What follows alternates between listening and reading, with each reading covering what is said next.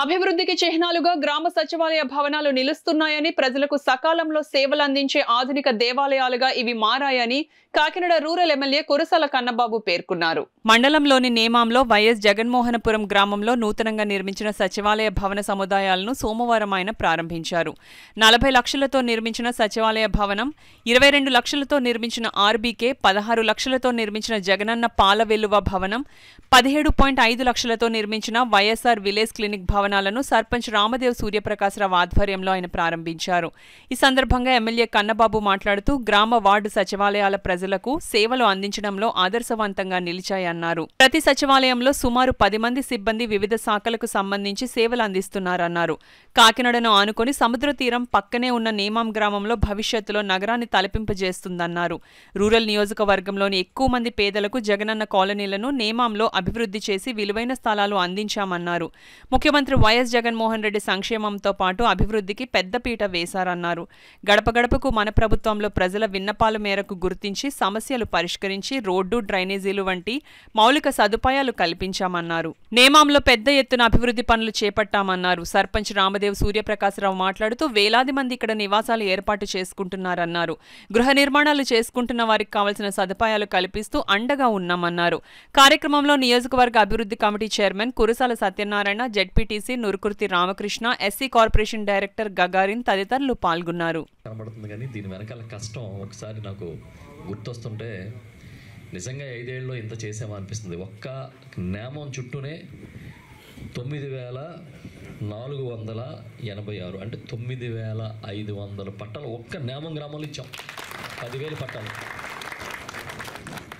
పదివేలు పెట్ట పట్టాలు నేమం గ్రామంలో ఇచ్చాం.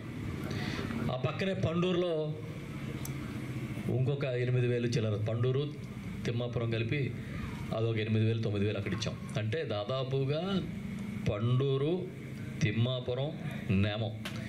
ఈ చుట్టుపక్కల ఇరవై వేల ఇళ్ళ స్థలాలు ఇచ్చామంటే ఇరవై వేల కుటుంబాలు వచ్చే ఐదేళ్ళ కాలం ఇటు తరలు వస్తాయి. ఒక్క నేమానికే పదివేల కుటుంబాలు వస్తున్నాయంటే ఒక్కసారి మీరు కళ్ళు మూసుకుని ఊహించుకోండి. నేమం గ్రామంలాగా ఉంటుందా పట్టణంలా ఉంటుందా మున్సిపాలిటీ అవుతుందా పంచాయతీలా ఉంటుందా?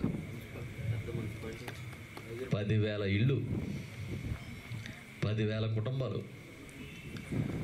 అటంతా కలిపి ఇంకో పదివేలు అంటే ఇరవై వేల కుటుంబాలు అంటే కుటుంబానికి నలుగురిని వేసుకున్న ఎనభై వేల జనాభా ఇక్కడికి వస్తుంది. ఐదు వేసుకుంటే లక్ష మంది జనాభా ఏరియాకి వస్తుంది. అంటే అసలు ఊహకి అందనంత అభివృద్ధి ఊహకి అందనంత డెవలప్మెంట్ జరిగితే ఒకసారి ఆశ్చర్యం వేస్తుంది. రెండేళ్ళు కరోనా పోయింది. ఇంకా మిగిలింది రెండున్నర సంవత్సరాలు చివరి ఆరు నెలల్లో ఎలక్షన్లో పోతుంది అంటే రెండున్నరేళ్ళ కాలంలో ఒక నాయకుడికి ఇది సాధ్యమవుతుందా అనిపిస్తుంది. సాధ్యాన్ని మనం కూడా అనిపిస్తుంది కొన్నిసార్లు కళలకు అంటాం కానీ నిరూపించడం చాలా కష్టం. కానీ అసాధ్యాన్ని సుసాధ్యం చేసి ఇగో ఈ కాంప్లెక్స్ ఏదో ఒక బిల్డింగ్లు కట్టడం కాదు వ్యవస్థలు అంటే. ఒక సచివాలయంలో పది మంది ఎంప్లాయీస్ని గవర్నమెంట్ ఎంప్లాయీస్ని పెట్టడం. యాభై ఏళ్ళకి ఒక ప్రతినిధిని పెట్టడం ఒక వాలంటీర్ని. మీ ఇంటికి సేవలు అందించడం వ్యవస్థల్ని సమూలంగా మార్చి. నేను మంత్రిగా ఉన్నప్పుడు ఈ రైతు భరోసా కేంద్రాలకి శ్రీకారం చుట్టాం. ఇక్కడ పంపితే ఇది ఈ సైట్ని విజిట్ చేయడానికి ప్రవీణ్ ప్రకాష్ గారు వచ్చారు. ప్రవీణ్ ప్రకాష్ గారు వచ్చి ఇక్కడ సైట్ ఏంటి ఈ తుప్పలో ఏంటి ఇవన్నిట్లో ఇక్కడ ప్రజలు ఎలా బతుకుతారు ఇక్కడ ఇది ప్రజలు బతకడానికి అనువుగా ఉంటుందా అన్నారు. లేదు సార్ ఇది రెండు గ్రామాలు రెండు పంచాయతీల మధ్యన ఉంది సార్. చాలా బాగుంటుంది. ఇది వాతావరణం కూడా చాలా అనుకూలమైన వాతావరణం సార్ ఇక్కడ ప్రజలు జీవించడానికి అని చెబితే. అప్పుడు సార్ లేరు. సార్ అయితే కర్నూలులో ఉన్నారు.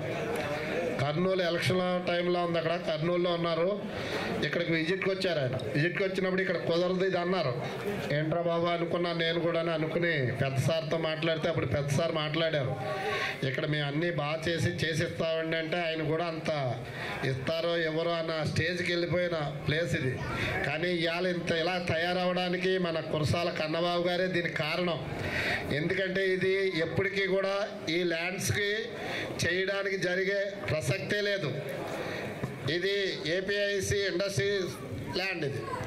రైతులకి వాళ్ళకి గొడవ ఉంటే రైతులకి డబ్బులు ఇప్పించి అప్పుడు ఇది తీసుకోవాల్సి వచ్చింది. ఎక్కడ జరగలేదు ఇదే మొట్టమొదటిసారి జగన్మోహన్ రెడ్డి గారు దగ్గర సార్కున్న అనుభవ ఆయన సన్నిహిత సంబంధాలతో మనకి ఇవ్వడం జరిగింది ఇది. ఈ అంతేదో సులువుగా వచ్చేసింది. ఇక్కడ ఏదో పంచిపెట్టేశారు ఇలా ఇలా అనుకుంటున్నారు ప్రతిపక్షాల వాళ్ళు. ఇది అంత సులువుగా ఏమీ రాలేదు. అది ఆయన చేసిన కృషి. మీరు ఈ పట్టాలు రావడానికి ఒక సంవత్సరం పాటు ఆయన చాలా కష్టపడి తెచ్చారు. ఇక్కడ మనం అందరం ఇక్కడికి పట్టాలు ఇవ్వడం జరిగింది. గత